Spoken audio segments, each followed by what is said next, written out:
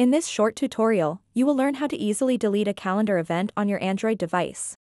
Deleting an event from your calendar is important when plans change or if you no longer need to keep track of a specific appointment or occasion. To get started, open up the calendar app on your Android phone and then find an event that you want to delete. After that, tap on that calendar event, and it will show you this little window.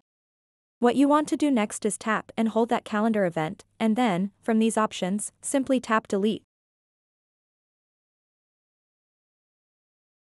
And then tap, move to recycle bin. And now you've successfully deleted that event from your calendar. So that wraps up this tutorial. If you have any questions about this whole process, please let me know in the comments section below. And if this video helped you out, please give it a big thumbs up and subscribe to this channel for more tutorial videos like this one. Thank you so much for watching and have a good day.